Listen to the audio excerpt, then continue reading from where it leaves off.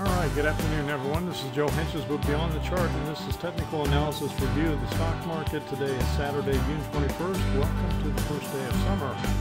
It officially started at 5:51 a.m. Central Time this morning. So we're going to take a look at the um, the indices, uh, several of them on a weekly basis, also daily and weekly. We'll take a look at the indicators, and, um, uh, and then we're going to take a look at our three ETFs we look at: the SMH, X, XHB, XLF, and then today we're going to look at Apple, Apache, which has been on fire, and Caterpillar.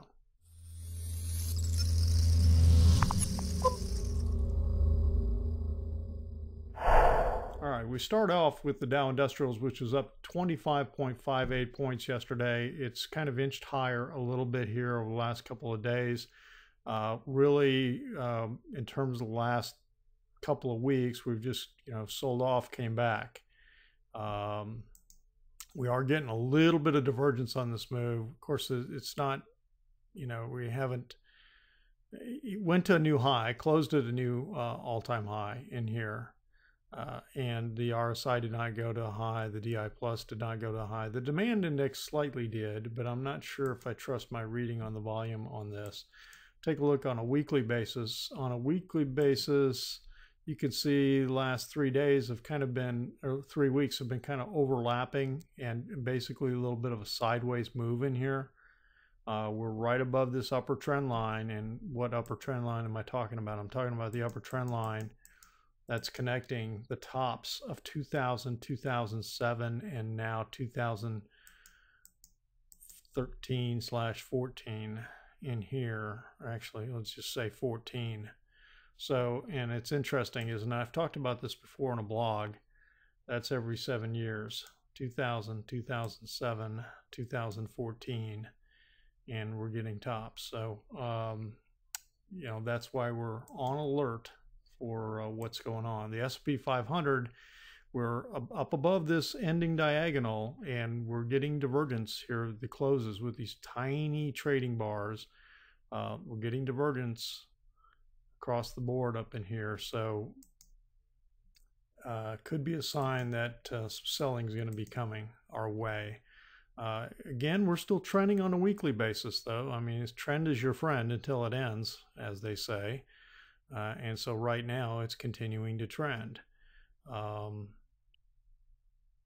little bit of divergence, but on a broader term. Uh, but sometimes the divergence have a tendency to just stay in place for a while. All right, let's take a look at the NASDAQ too on a daily and weekly. The NASDAQ on a daily basis has got these divergences coming in.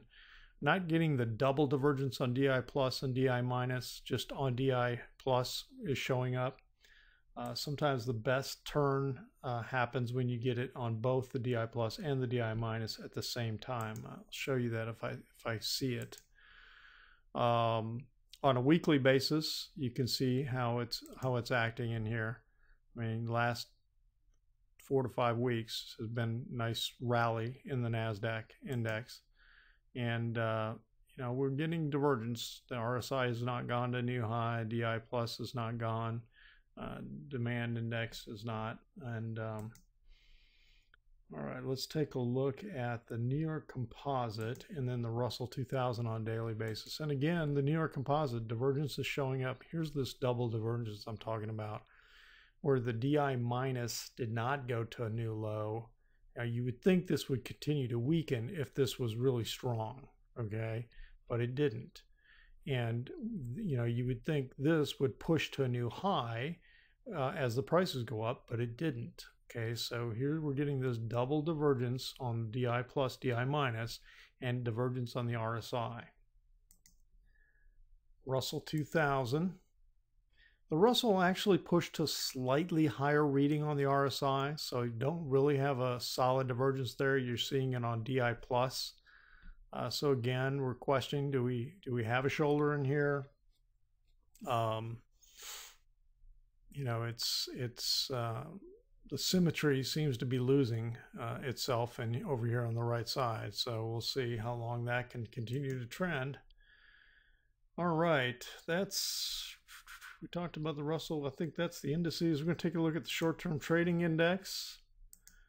And again, we do not have an extreme reading. Yesterday's was reading was 1.09, and the nine day in here, the blue, is at a reading of 0.97. Okay, so we're not getting that reading down in here that we'd like to see to tell us that maybe a, a top is in. Um, but that could be a day or two reading away. All we need is a, an extreme reading. Uh, the the VIX, CBOE, there it is, market volatility index. Okay, you know we're getting the divergence that's showing up in here. We were up yesterday, um, so that's kind of interesting. I mean, we were up a little slightly. Uh, market was up, and this was up. Uh, so kind of, you know, continue to watch this. This could be signaling that something's uh, uh about to happen. Um, the high-low index. High-low index uh, popped on Friday a little bit. Uh, 312 net new highs versus new lows. Uh, and so we're starting to spike back up in here. we could be trying to challenge back up into these kind of readings. We'll have to see. Nothing extreme yet. Again, not getting extreme readings on the indicators. All right, let's take a look at the uh, semiconductor ETF, which has been on fire, as you know we've seen, and it's just continued to ride. Talk about getting above the Keltner channel and being able to just ride like this, kind of like Apache. What Apache's doing. We'll talk about Apache in a few minutes, but man, this is just, you know, the moving average is just going straight up. Now, nothing goes straight up forever. So uh, it's extremely overbought. Uh, we'll just have to see, um, you know, what it does. Got a little doji bar here on Friday. Um, we'll see what kind of pullback we get and when.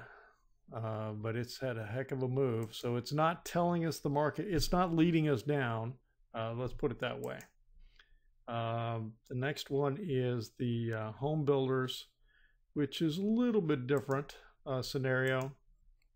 It's not nearly as strong. I mean, look, it's it's going this way. Came back, popped back a little bit up to the basically this trend line that it had broken in here, and then now it's uh, it's basically kind of struggling to go sideways. Except the 21 has broken above the the 55. So uh, that means we got the 55 above the 233 in here. We got 21 above the 55. And again, these are all simple moving averages, okay, of 21 simple, 55 simple, 233. And this is the 10 EMA.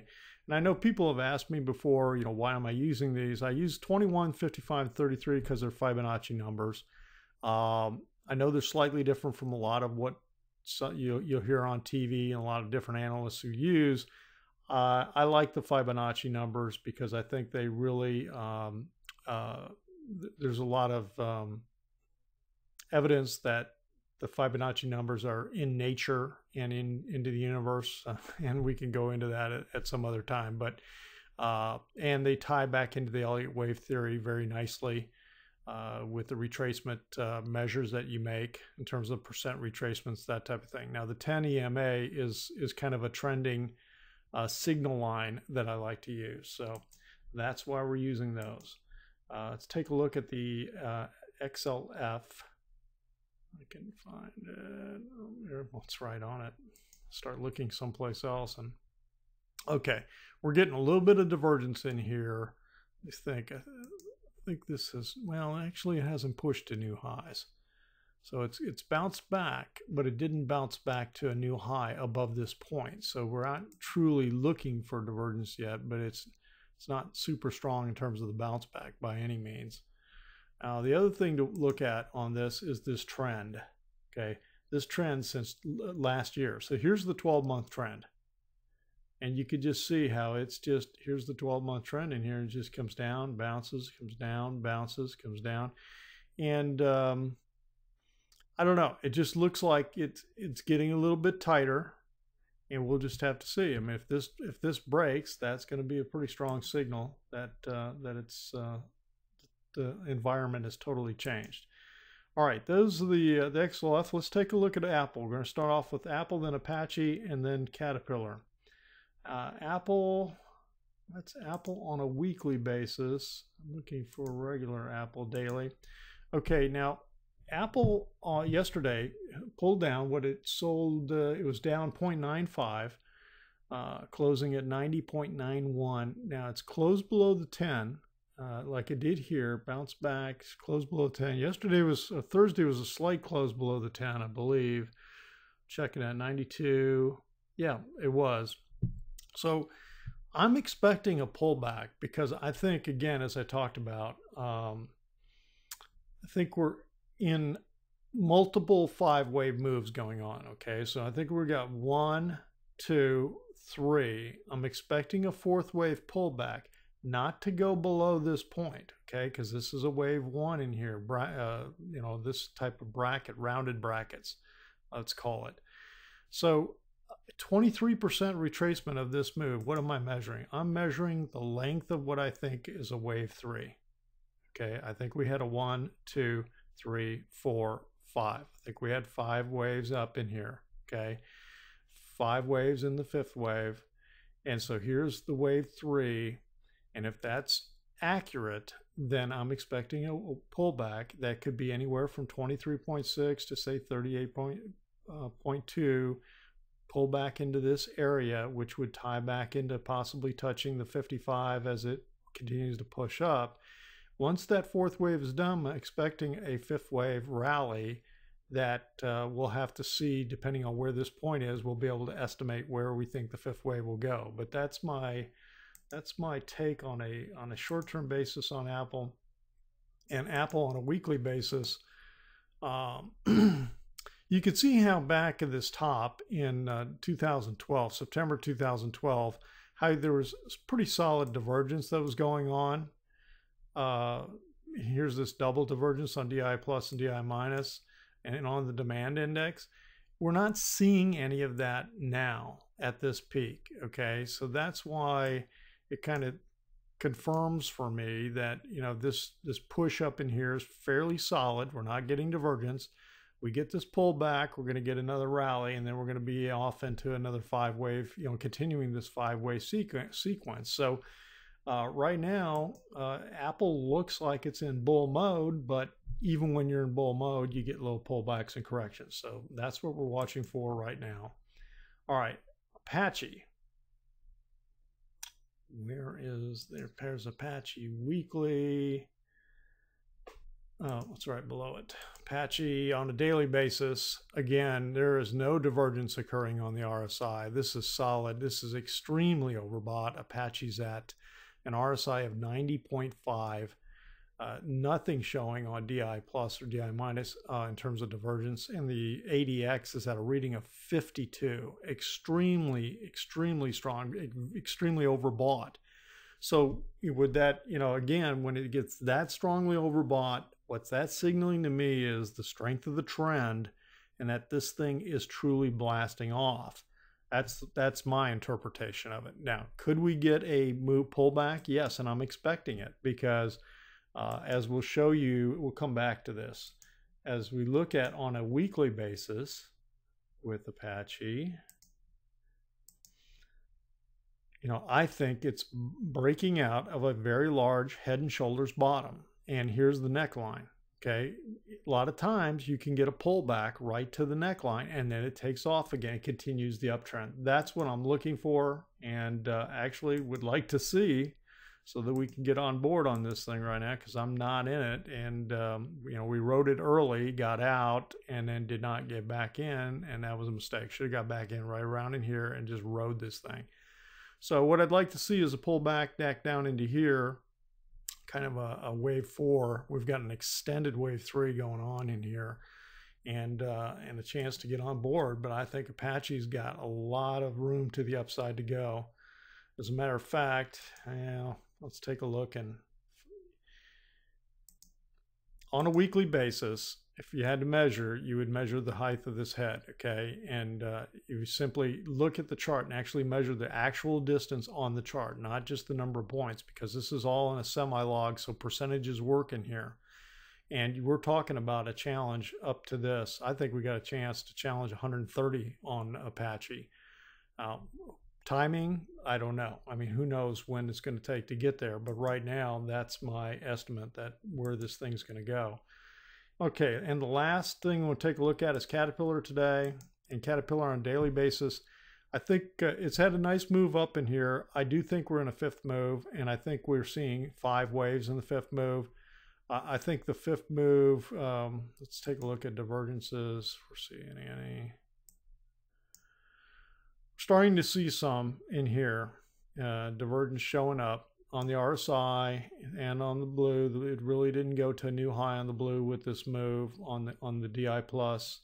The demand index did not, although it did push here on this on this move here uh, yesterday. So that's kind of interesting. So two out of the three are signaling. I do think that we're getting another um, that we could push higher, like maybe 111 or slightly higher. Um, you know, based on some Fibonacci uh, projections of the mo of the waves. Let's take a look at CAT on a weekly basis. Here's the previous highs back in here in um, 2011 and early 2012, back up around 116, 116 and a half or so.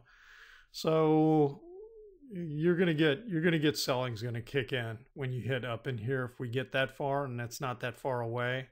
So I think there's a pretty good chance we're in the, the last throes of the rally here with, with Caterpillar, and it may not even get that far. But um, so somewhere between I think 111 and 116 is what we're going to be looking at on CAT.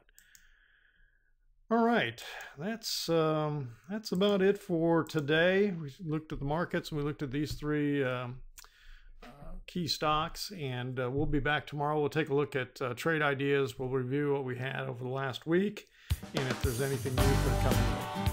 This is Joe from Beyond the Chart. Um, if you're not a subscriber, subscribe so you can get email updates, access to the Trade Ideas webpage, and other things that we're doing. And uh, I appreciate you stopping by. Have a great weekend. We'll talk to you again tomorrow.